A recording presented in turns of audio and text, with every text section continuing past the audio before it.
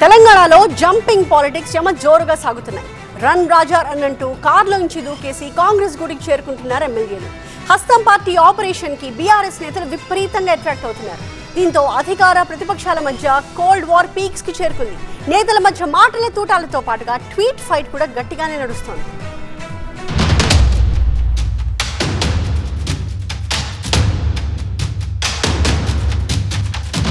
కర్ణాటకలో తమ పార్టీలోకి రారమ్మంటూ ఒక్కో ఎమ్మెల్యేకు బీజేపీ యాభై కోట్లిస్తోందట. మరి తెలంగాణలో పార్టీ మారుతోన్న వాళ్ళకు మీరెంతిస్తున్నారు ఒక్కో ఎమ్మెల్యేకి ఎంత రేటు ఫిక్స్ చేశారు? అంటూ ట్వీట్ ద్వారా కాంగ్రెస్ పార్టీని రాహుల్ గాంధీని క్వశ్చన్ చేశారు BRS working president KTR. Karnataka CM Siddaramaiah బీజేపీపై చేసిన వ్యాఖ్యలను ట్యాగ్ చేస్తూ కాంగ్రెస్ తీరుపై ఫైర్ అయ్యారు. అంతేకాదు తెలంగాణ రాష్ట్రంలో ఆర్ఆర్ ట్యాక్స్ ట్రిపుల్ ఆర్ కల్కి సినిమా కలెక్షన్లు మించిపోయిందంటూ ఘాటుగా కామెంట్స్ చేశారు కేటీఆర్. రాష్ట్రంలో ఎమ్మెల్యేల ఫిరాయింపుల నేపథ్యంలో ఆయన ఈ ట్వీట్ చేశారు. ఐవీఎఫ్ ఒక అధునాతన సంతానోత్పత్తి చికిత్స. అనేక దంపతులకు తల్లిదండ్రులు కావాలనే వారి కలను నెరవేర్చుకోవడానికి సహాయపడుతుంది. ఈ రోజే ఓఎస్ఎస్ ఫర్టిలిటీని సందర్శించండి.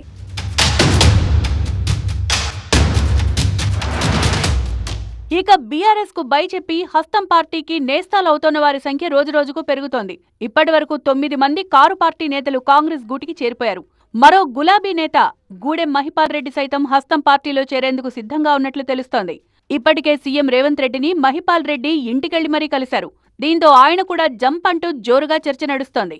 ఏ క్షణంలోనైనా మహిపాల్ రెడ్డి జంపింగ్ వార్త రావచ్చన్న వాదన వినిపిస్తోంది. ఇక లేటెస్ట్గా అరకెపూడి గాంధీ చేరికతో బీఆర్ఎస్ నుంచి జంప్ అయిన వారి సంఖ్య ట్రిపుల్ హ్యాట్రిక్కి చేరింది.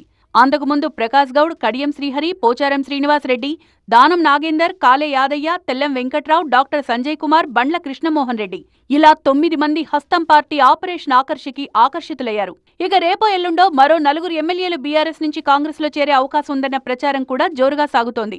దీంతో ట్వీట్ ద్వారా కాంగ్రెస్ తీరుపై మరోసారి మండిపడ్డారు కేటీఆర్. ఈ నేపథ్యంలోనే సీఎం సిద్ధరామయ్య బీజేపీపై హాట్ కామెంట్స్ చేశారు.